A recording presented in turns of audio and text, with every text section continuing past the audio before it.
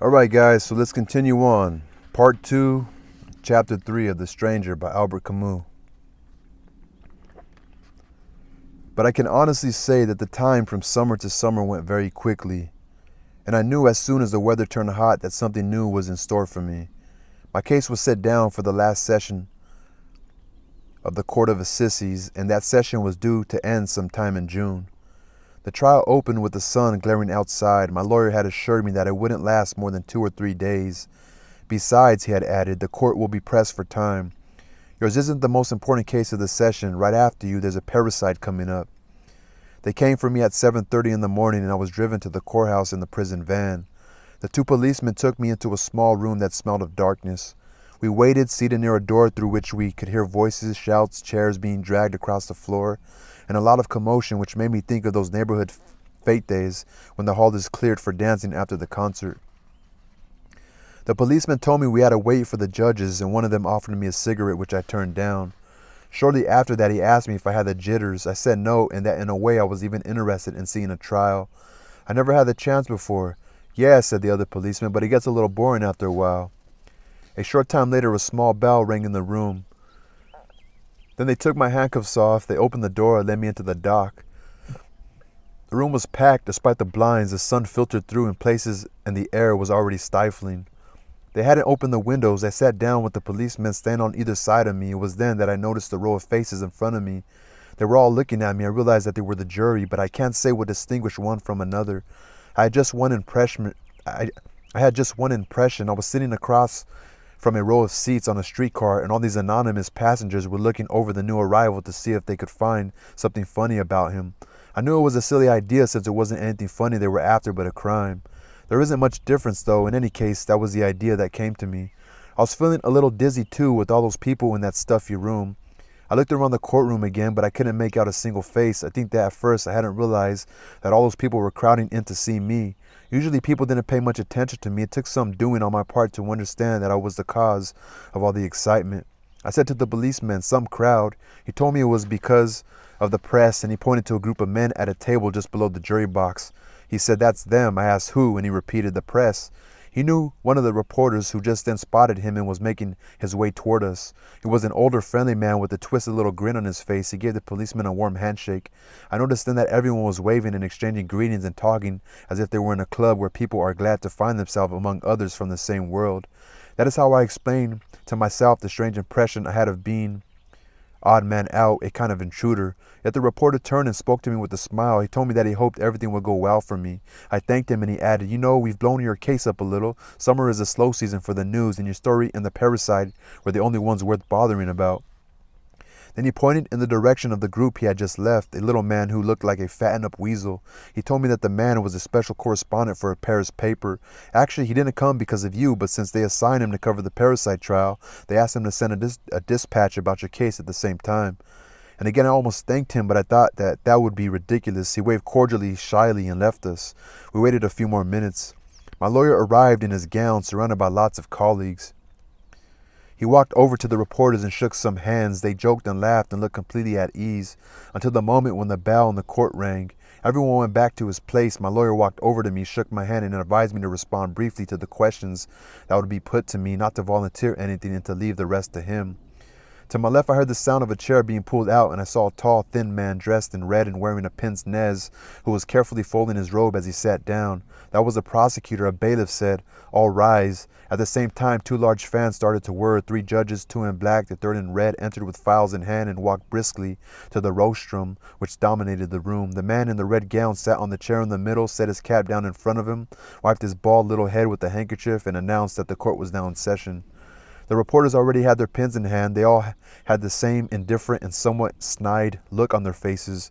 Some of them, however, much younger than the others, wearing gray flannels and a blue tie, had left his pen lying in front of him and was looking at me. All I could see in his slightly lopsided face were his two very bright eyes, which were examining me closely without betraying any definable emotion.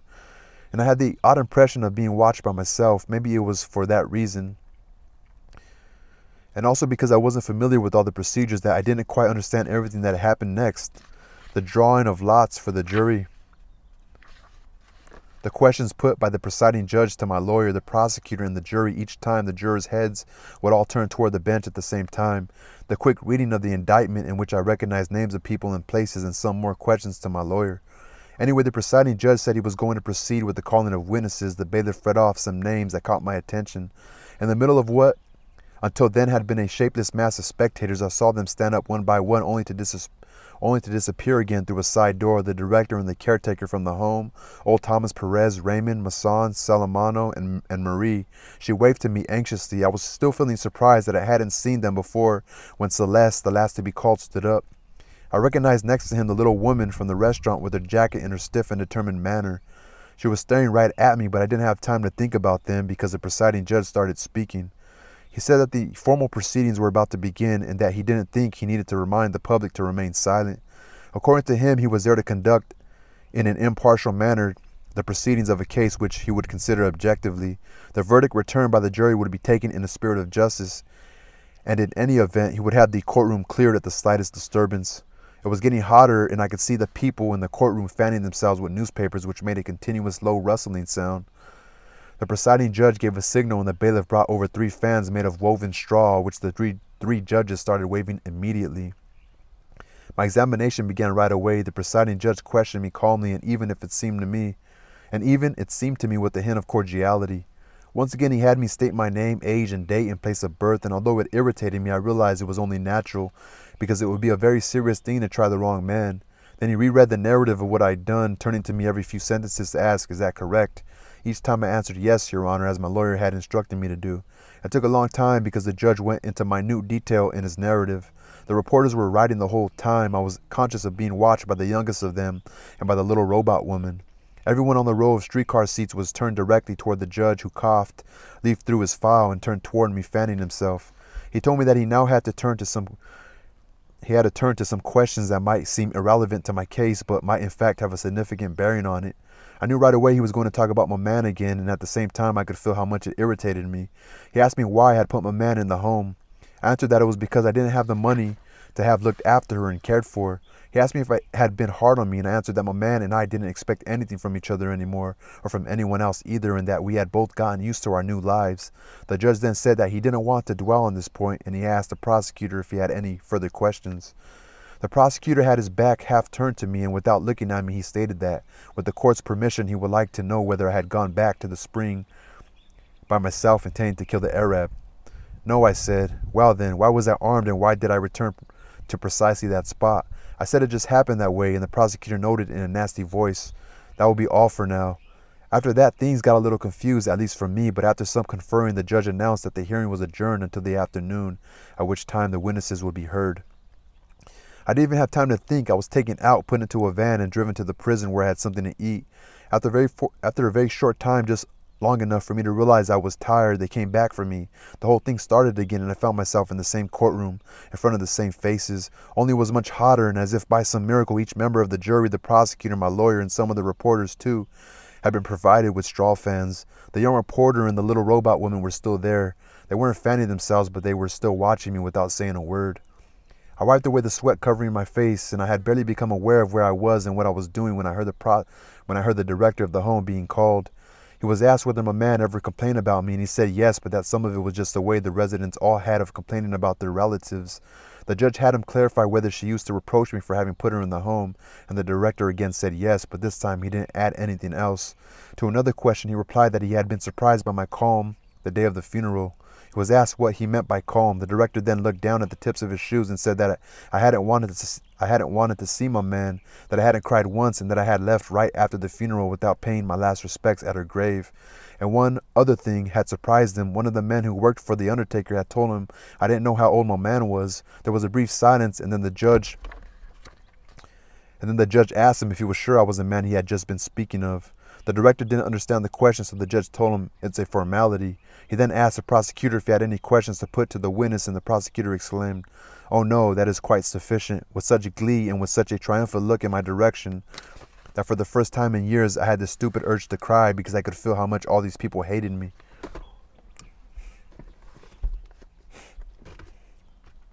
After asking the jury and my lawyer if they had any questions, the judge called the caretaker.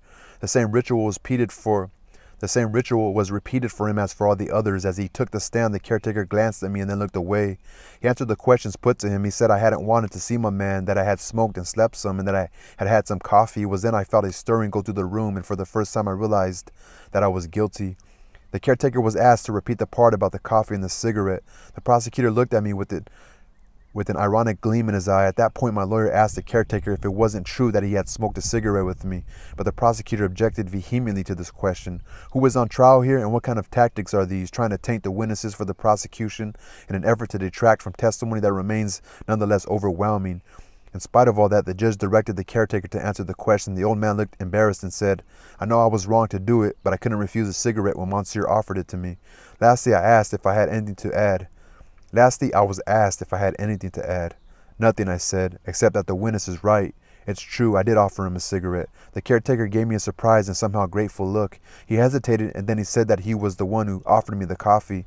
My lawyer was exultant and stated and stated loudly that the jury would take note of the fact, but the prosecutor shouted over our heads and said, Indeed, the gentlemen of the jury will take note of the fact, and they will conclude that a stranger may offer a cup of coffee, but that beside the body of the one who brought him into the world, a son should have refused it. The caretaker went back to his bench.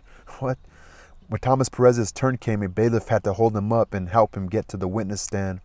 Perez said it was really my mother he had known and that he had seen me only once on the day of the funeral. He was asked how I had acted that day and he replied, You understand? I was too sad, so I didn't see anything. My sadness made it impossible to see anything because for me it was a very great sadness. And I even fainted, so I wasn't able to see Monsieur. The prosecutor asked if it had at least asked if he had at least seen me cry. Perez answered no. The prosecutor in turn said, The gentleman of the jury will take note. But my lawyer got angry. He asked Perez in what seemed to be an exaggerated tone of voice if he had seen me not cry. Perez said no. The spectators laughed, and my lawyer, rolling up one of his sleeves, said with finality, Here we have a perfect reflection of this entire trial. Everything is true and nothing is true. The prosecutor had a blank expression on his face, and with the pencil he was poking holes in the title page of his case file. So he said, um, Here we have a perfect reflection of this entire trial. Everything is true and nothing is true. After a after a five minute recess during which my lawyer told me that everything was working out for the best, we heard the testimony of Celeste, who was called by the defense. The defense met me. Every now and then, Celeste would glance over in my direction and rotate his Panama hat in his hands. He was wearing the new suit he used to put on to go with me to the races sometimes on Sundays. But I think he must not have been able to get his collar on because he only had a brass stud keeping his shirt fastened. He was asked if I was a customer of his and he said yes, but he was also a friend.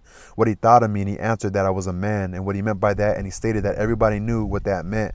If he had noticed that I was ever withdrawn and all he would admit was that I didn't speak unless I had something to say.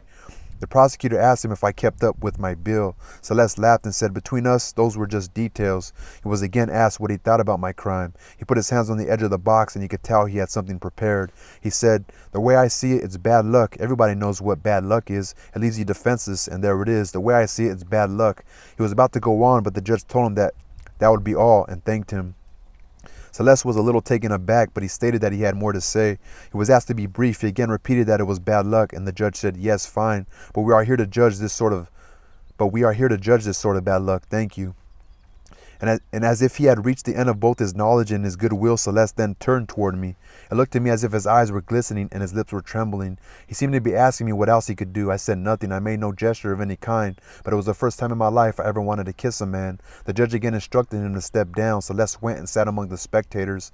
He sat there throughout the entire trial, leaning forward, his elbows on his knees, the Panama hat in his hands, listening to everything that was said.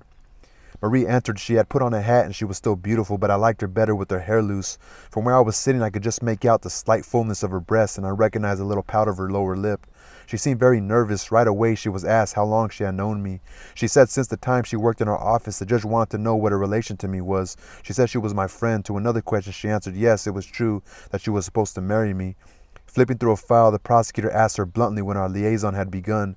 She indicated the date. The prosecutor remarked indifferently that if he was not mistaken, that was the day after Maman died. Then, in a slightly ironic tone, he said that he didn't mean to dwell on such a delicate matter, and that he fully appreciated Marie's misgivings, but, and here his tone grew firmer, that he was duty bound to go beyond propriety. So he asked Marie to describe briefly that day when I had first known her.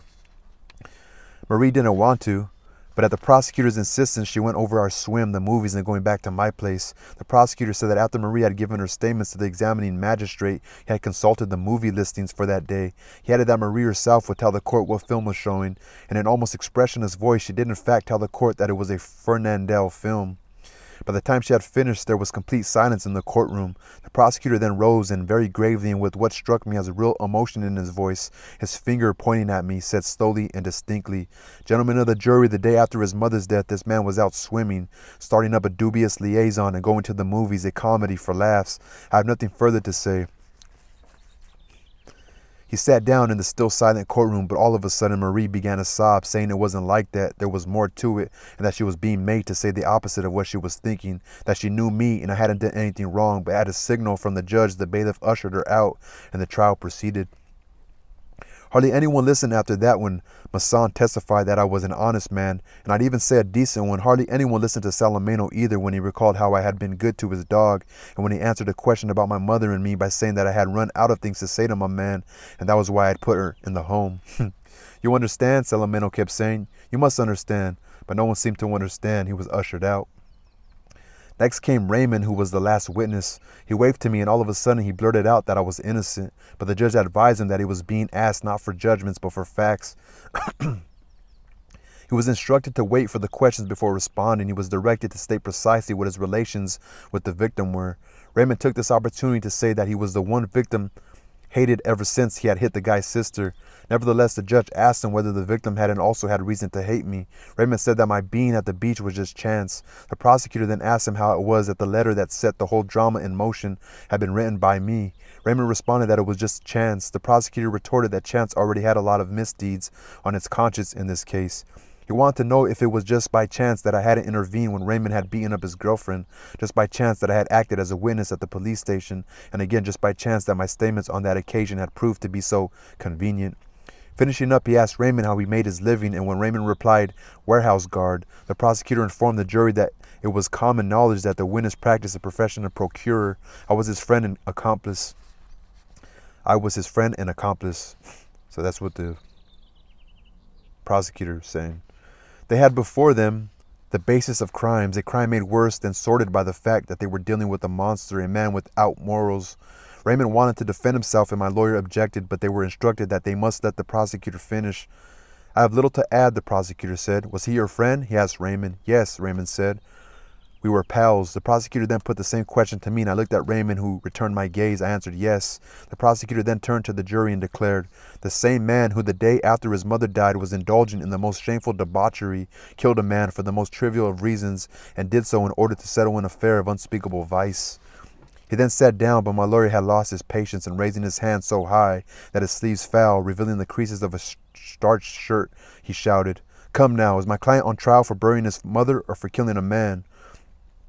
But my lawyer had lost his patience, and raising his hand so high that his sleeves fell, revealing the creases of a starched shirt, he shouted, Come now, is my client on trial for burying his mother or killing a man? The spectators laughed, but the prosecutor rose to his feet again, adjusted his robe, and declared that only someone with the naivety of his esteemed colleague could fail to appreciate that between these two sets of facts there existed a profound, fundamental, and tragic relationship, Indeed, he loudly exclaimed, I accuse this man of burying his mother with crime in his heart. This pronouncement seemed to have a strong effect on the people in the courtroom. My lawyer shrugged his shoulders and wiped the sweat from his brow, but he looked shaken himself, and I realized that things weren't going well for me. The trial was adjourned. As I was leaving the courtroom, as I was leaving the courthouse on my way back to the van, I recognized for a brief moment the smell and color of the summer evening. In the darkness of my mobile prison, I could make out one by one, as if from the depths of my exhaustion, all the familiar sounds of a town I loved and of a certain time of day when I used to feel happy.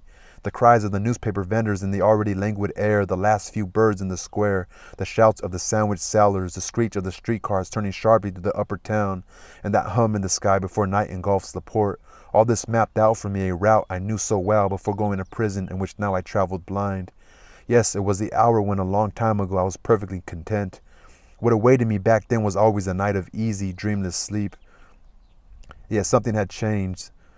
And yet something had changed. It was since it was back to my cell that I went to wait for the next day, as if familiar paths traced in summer skies could lead as easily to prison as to the sleep of the innocent. What awaited me back then was always a night of easy, dreamless sleep. And yet something had changed. Since it was back to my cell that I went to wait for the next day, as if familiar paths traced in summer skies could lead as easily to prison as to the sleep of the innocent. I don't know. I mean, he felt like the guy was attacking him. He did shoot him. Then he entered the clip, you know? But all that shit about, I don't know. Dangerous, dangerous are prosecutors. I don't know. I don't know.